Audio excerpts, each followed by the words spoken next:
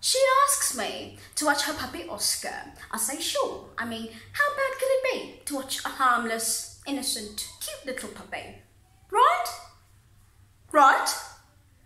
Wrong. It was a nightmare, if there ever was one. Look at me. Do you see the bags under my eyes? I look like I went 12 rounds with Muhammad Ali. I look awful. She tells me like it's no big deal.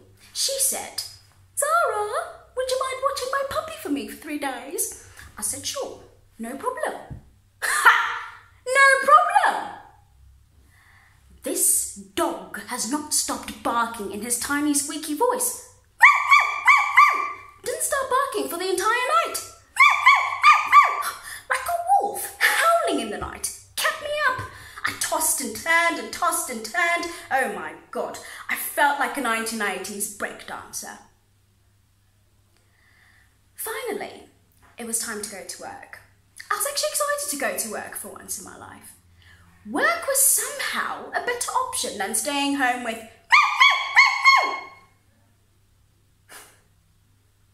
But guess what? When I walked into my kitchen, I found myself sliding all the way across the kitchen and flat dead on my back and ass. Bruises the size of boulders. Yeah. I slid on dog pee pee for goodness sake. It's messed up. The dog is messed up. Cheryl, Cheryl is so messed up for suckering me into watching her, her, can't even think of an insult for that, that, uh, I've had it. He tore up my couch when I came home from work. My couch, the one I had recently purchased from Levitz. Great deal, by the way. It's destroyed. And where was Oscar? Somehow, Oscar, the expert trapeze artist, positioned himself on top of my kitchen cabinet.